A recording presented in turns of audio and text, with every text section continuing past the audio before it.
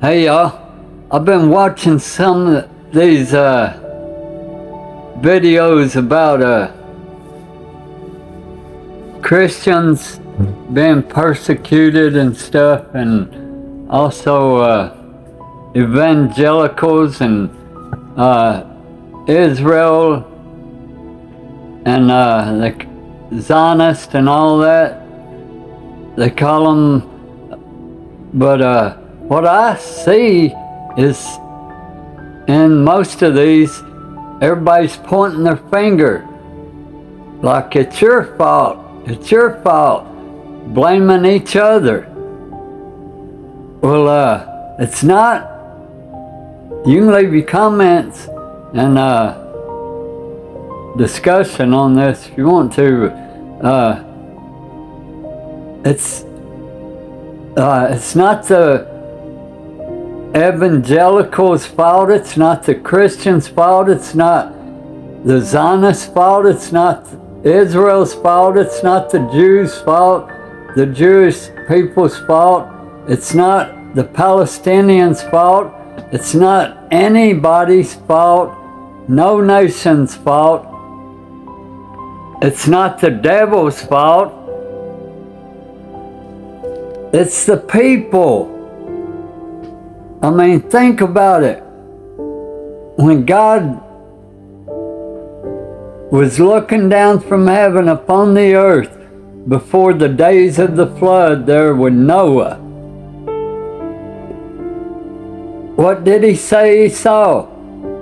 It grieved his heart that he had made man upon the face of the earth. Why? Because the hearts of men were only wickedness and evil, to do wickedness and evil. All the time, that's what they wanted to do. It was the people, the heart. It's always been a matter of the heart. And that's why in the new covenant, he said uh, he wants to give us a new heart wherein dwells righteousness and take the stony heart away and put in a heart of flesh. He wants to write his his laws in our mind and put them in our hearts. That's the new covenant. He wants to regenerate his spirit within us, just like it was in the beginning of the creation. So it's none of those people's fault. We need to stop blaming each other. That causes wars, leads to strife and more ungodliness. We need to realize the fault is our heart and turn our hearts to Him. Because He said in the days of the flood that uh, it was on the hearts of men were only evil constantly all the time, wanting to do evil. And so it repented God's heart that He had made man upon the earth.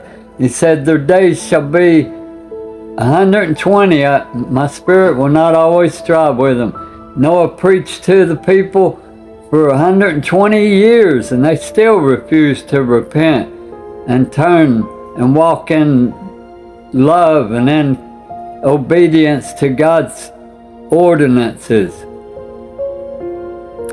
and his instructions. He only wants us to walk in love.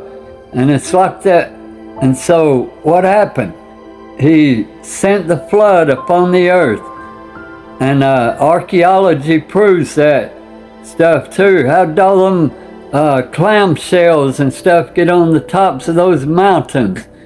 And uh, those fish up there and those stones and all that kind of stuff on the tops of mountains. They didn't get up, walk up there. The flood is how they got up there on the tops of those high mountains. But anyway, God sent the flood and destroyed them all. And uh, we can't say it was the devil's fault neither, because if that were the case, then God, as wise as He is, He made the heavens and the earth then why wouldn't have he destroyed the devil at that time? because it wasn't the devil's fault. It's the people's fault. What is the devil? He's like an arresting police officer. How do we know? The parables of Yahoshua, the parables of Yahshua, Jesus. He told us that kings and prophets have longed to hear the words that those disciples that studied with him had heard. And they had not heard it, but he explained unto them. He said, uh, in one of his parables, he said that uh, that he forgave this man a great debt and uh because he couldn't pay it and that's our sin we can't pay the debt of our own sin but he paid it for us and he forgave us. And but anyway he forgave this man this great debt. The man went out and held a little bitty debt against uh, a fellow neighbor of his and uh, then the kings heard about it, and because his family was was complaining to the king about him mistreating this man after he had been forgiven, the king called him back in and asked him, he said, uh, I forgave you that great debt. And you went out and you held this against this other person for such a little small thing that happened. And uh, he said,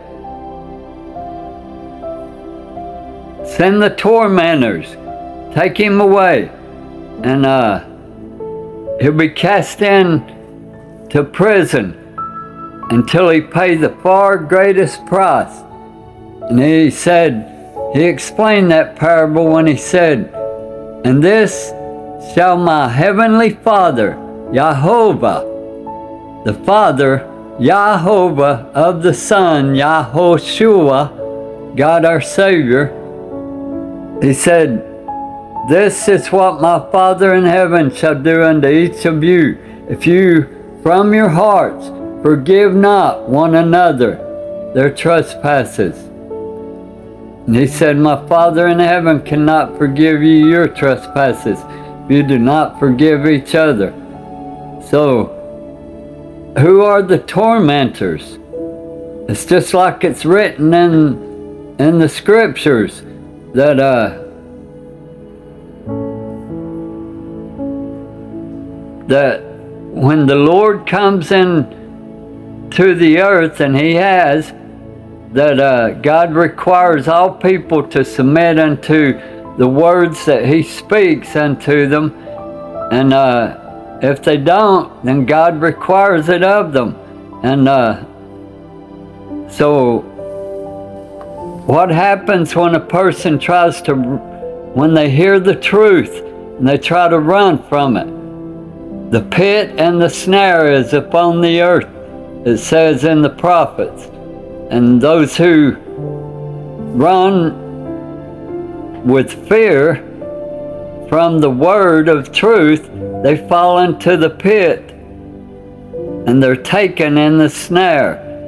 And that's why the scripture says also, I believe it's in the book of Timothy, that he says that, uh, that those who fell into the pit, when they try to come up and get out, they're taken in the snare.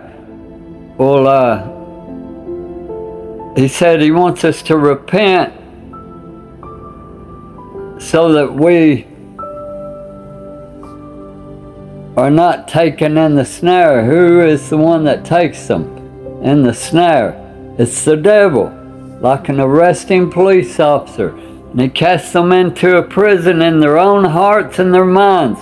And the word sorrow translates as anger. And so their hearts become angry toward the authority of Almighty God. So, if it was the devil's fault, then he would have destroyed the devil when that flood was sent upon the earth. But it wasn't. It was the hearts of men that refused to repent and submit to the authority of God. And so that's the case. That's what needs to be done.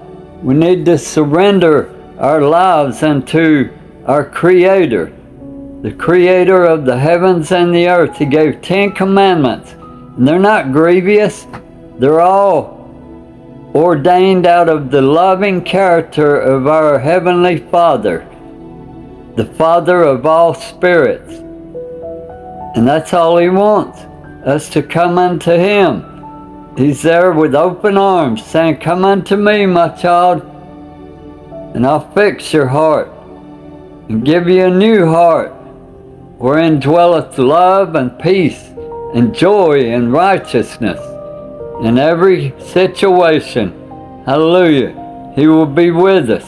So let us surrender unto God. He's drawing us all to the love of His beloved Son. For He so loved the world, He gave His only begotten Son. Whoever believes in Him shall not perish, but have everlasting life. Peace be with y'all. I just wanted to share that thought with you. So let's keep praying for each other. Y'all are in my prayers. Keep me in yours. Leave your comments. Let me know what you think about all this. Peace be with you. I love y'all. Shalom.